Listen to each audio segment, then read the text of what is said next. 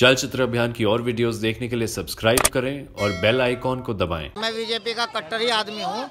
और मैं बीजेपी को ही सपोर्ट करता हूँ यहाँ सारे जाने हैं कि मैं वोट दे दूँगा। हाँ। मगर मैं केला अपनी ही दूँगा मेरी चालीस वोट है चालीस वोट मेरी दूसरी जगह जाएगी मेरी मेरी जाएगी। वो जो 40 वोट है वो पहले भाजपा को ही जाती थी। भाजपा की थी भाजपा की जाती अब नहीं जाएगी। भाई ये रिक्शा चलाता हूँ रिक्शा जो है पहले साठ हज़ार की आती थी जब पहले दूसरी सरकार थी और सरकार थी इसमें जो है साठ हज़ार से जो है डेढ़ लाख रुपए की रिक्शा दे रहे हैं। अब डेढ़ लाख रिक्शा लेने के बावजूद फिर जो है आरटीओ सबको तंग करता है।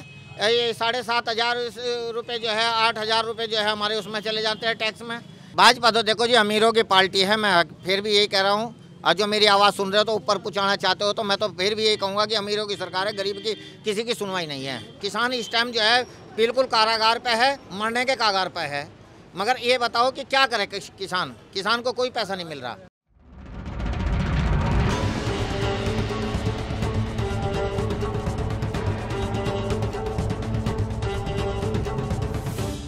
सीसीए में आपका स्वागत है। अभी लोकसभा 2024 का माहौल धीरे धीरे पूरे देश में ही और यहाँ पश्चिमी उत्तर प्रदेश में भी गर्मा रहा है। हम फ़िलहाल पश्चिम उत्तर प्रदेश की कैराना लोकसभा सीट पर है शामली ज़िले में। क्या लोगों का कहना है इस बार 2024 के चुनाव के बारे में? आइए बात करते हैं। यहाँ लोगों से भाई रिक्शा चालक तो ज़रूर है। हाँ जी। मजदूर आदमी है। हाँ जी। दो दो रुपए के मजदूर आदमी सारे हैं। बीजेपी सरकार जो पैसा देती है मैं बीजेपी का कट्टर ही आदमी हूँ। और मैं बीजेपी को ही सपोर्ट करता हूँ यहाँ सारे जाने हैं। आपका नाम साहब मेरा नाम नंद किशोर है। जी, नंद मैं बीजेपी से ही काम करता हूँ बीजेपी का ही काम करूँ। जी। कारण एक है कि जो बीजेपी जो है सरकार जो है किसानों का पैसा जो है टाइम पे दिला दे। और टाइम पे काम कर देती। तो दिखे ये परिवर्तन का जो नाम ले रहे हैं ना ये परिवर्तन नहीं होता नहीं तो आप बीजेपी से हैं और आप खुद कह रहे हैं कि यहाँ पर परिवर्तन मतलब यहाँ गन्ने का भुगतान नहीं मिला नहीं मिला। मैं भी एक किसान हूँ मेरा भी पैसा नहीं मिला मैं छोटा सा किसान हूँ। हम्म, अच्छा जी मगर यह है कि किसानों को जो पैसा मिलता तो किसान इनकी तरफ़ को होते भरपाई होती बीजेपी की। आपके बीजेपी में जो है ना बहुत कम भरपाई होगी। तो आप ये बताइए आप भाजपा के कार्यकर्ता हैं। कार्यकर्ता हूँ। और भाजपा ने वायदा किया था कि जब उनकी सरकार आएगी तो चौदह दिनों में गन्ने की पेमेंट हो हाँ बिल्कुल नहीं दिया जी। यही तो इसीलिए तो किसान रो रहा है। इसीलिए किसान जो है नीचे धरती पर आ रहा है। जाके देख लो किसान की फ़सल कैसे खड़ी है। अच्छा जी इतना इतना पैसा मोटा लगा रखा है मगर यह है कि पैसा नहीं मिल रहा है बिल्कुल भी। किसान इस टाइम जो है बिल्कुल कारागार पे है मरने के कागार पे है। मगर ये बताओ कि क्या करे किसान? किसान को कोई पैसा नहीं मिल रहा। चलिए आप ये बताइए आप कह रहे हैं किसान को कोई पैसा नहीं मिल रहा। आप भी छोटे किसान हैं। हाँ। आप क्या खेती करते हैं कुछ और भी करते खेती- खेती भी करता हूँ चार बीघे का काश्तकार हूँ मैं। चार बीघे के काश्तकार हैं। यहाँ पर मैं दर्शकों को बता दूँ भीगा की जो यहाँ पर मेज़रमेंट है यहाँ पर एक एकड़ में पाँच बीघे होते हैं।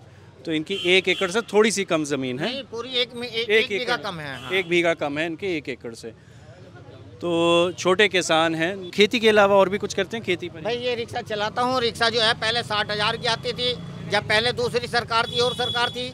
इसमें जो है साठ हज़ार से जो है डेढ़ लाख रुपए की रिक्शा दे रहे हैं। अब डेढ़ लाख की रिक्शा लेने के बावजूद फिर जो है, आरटीओ सबको तंग करता है।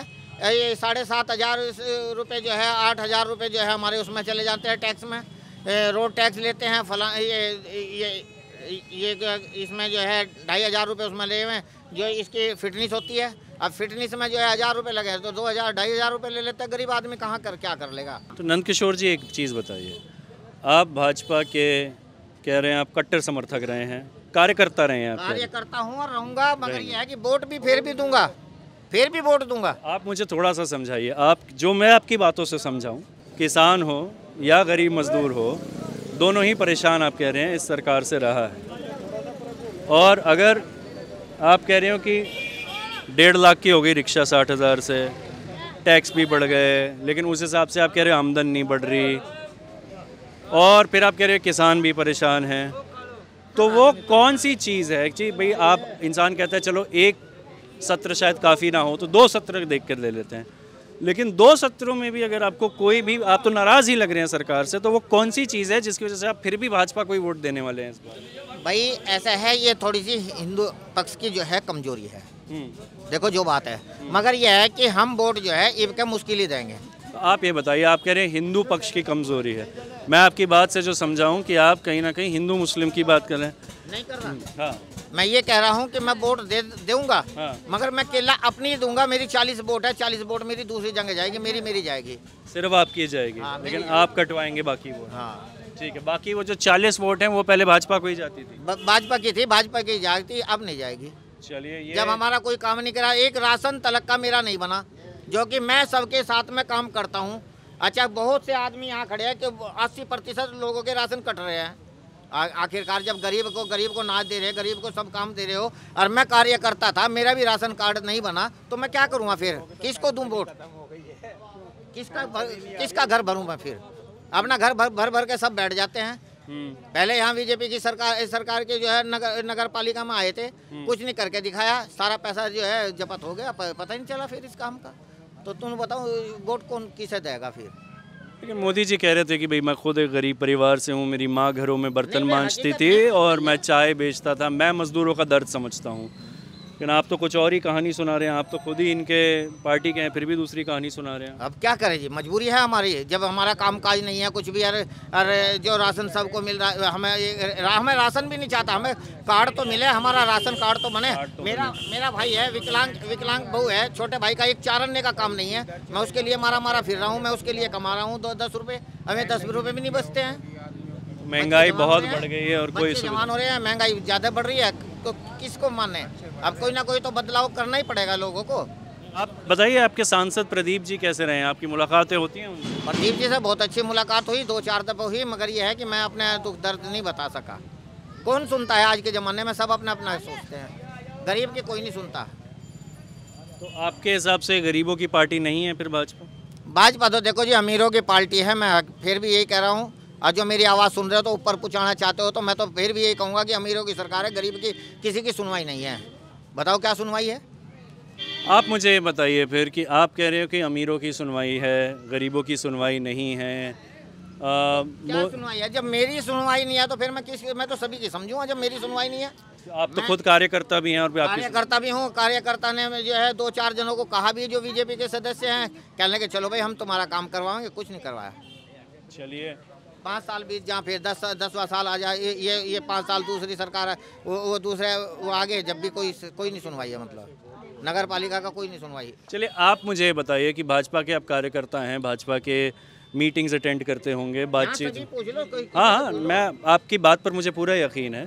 मैं पूछ रहा हूँ कि आप यहाँ पर उनकी जो बैठकें होती हैं उनमें भी आप बात जाते होंगे। अंदरूनी आंकलन क्या है भाजपा का कि क्या इस बार पश्चिम उत्तर प्रदेश में मैं पूरे देश का नहीं पूछ रहा हूँ।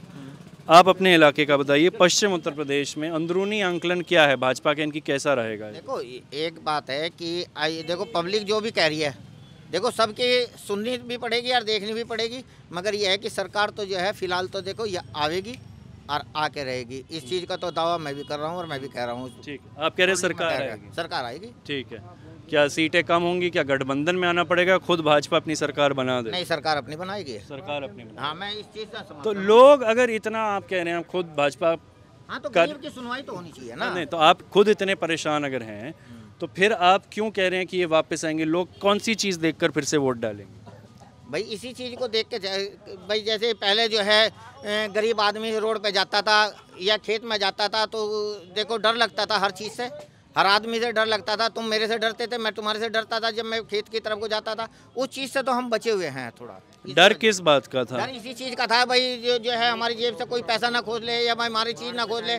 पहले रिक्शाएँ बतेरी खुजती थी अब रिक्शा कि मतलब यहाँ पर कानून व्यवस्था बेहतर हुई। हाँ कानून व्यवस्था ठीक है। कानून हाँ कानून में कोई नहीं है। चलिए कानून व्यवस्था बेहतर हुई नहीं हुई इस पर भी लोगों की ठीक है आपका मानना है कि हुई। एनसीआरबी का डेटा कुछ और कह रहा है बट चलिए वो छोड़ दीजिए। मैं आपसे ये पूछ रहा हूँ कि कानून व्यवस्था अगर बेहतर हुई भी तो वो कहीं ना कहीं राज्य सरकार का काम था। केंद्र सरकार का काम तो यहाँ की कानून व्यवस्था देखना नहीं है। तो केंद्र सरकार की तरफ़ क्यों लोग आकर्षित हो रहे हैं?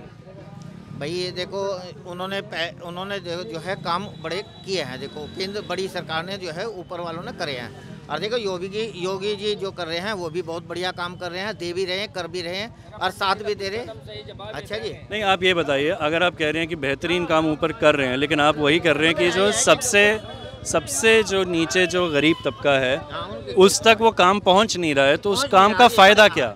हाँ उस काम का काम का कोई फ़ायदा नहीं है जो जो है गरीब तबके के पास में नहीं जा रहा। जो आज जो ऊपर से आ रहा है वो वहीं के वहीं दब जाता है।